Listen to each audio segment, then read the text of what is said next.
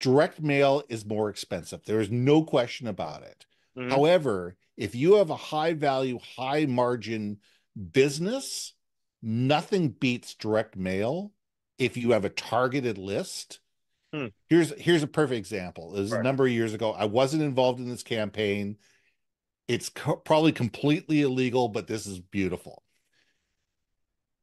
One high-end car company ended up acquiring the leasing list of another high-end car company. Mhm. Okay.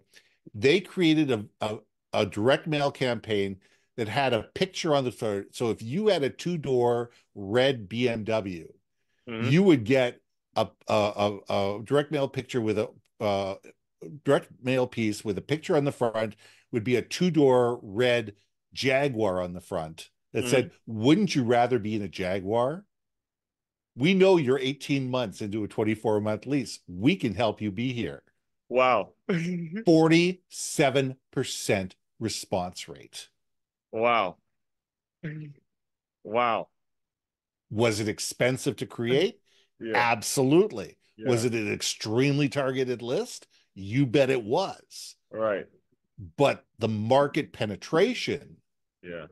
Was worth millions and tens of millions, if not hundreds of millions of dollars Yeah. across the United States. Right. So here's here's the important thing for you listeners to take away when it comes to that. All right. I, I really want you guys to get a hold of the extremely targeted list aspect of that story. All right.